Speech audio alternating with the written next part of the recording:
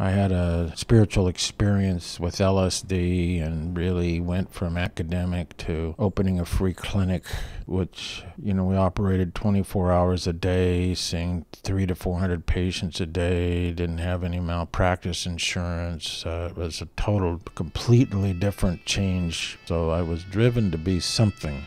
So, our story begins in the beautiful city of San Francisco, California, specifically the neighborhood of Haight Ashbury, where drugs, sex, and rock and roll became the center of the counterculture that was born in the 1960s. And along with the drugs came the drug addicts and the outsiders that were ignored by the healthcare system in San Francisco. We went to the city and said there's going to be this influx of young people coming this summer, and we called it a hippie clinic then. And uh, the city said, no, we don't want to set up a clinic. We don't want them to stay. This is Dr. David Smith. He specializes in addiction medicine and has been doing so since the 1960s. He was the man that set up the first free medical clinic that accepted the flower children of the Summer of Love. I think it was May of 1967 when the city was denying health care to this population. I said health care is a right, not a privilege. That came from a civil rights march.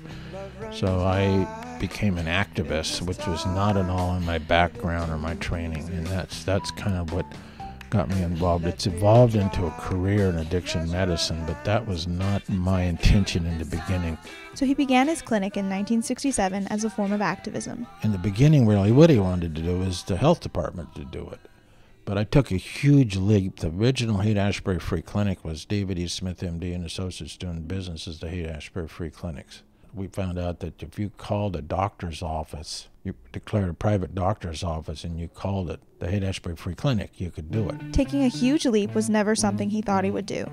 As a young man, Dr. Smith was a studious outsider and a misfit. Going against the city of San Francisco to help the youths that were gathering in Haight Ashbury was a risk to not only his career, but his reputation. He figured he might as well take a chance if it meant that people could be helped. So I had the skills but I really identified with the outsiders. I really identified with the counterculture and was very offended by the way they were treated. So it activated this, you know, how establishment treats outsiders. But then it required, you know, a, a, spiritual experience to see how all things are connected. In other words, there's no, there's not really any the, you know, we and they I think that's what the psychedelic experience did for me. You know, uh, as Martin Luther King said, injustice to one is injustice to all. So I, I became very involved in that social justice. But Dr. Smith couldn't just start his clinic on his own.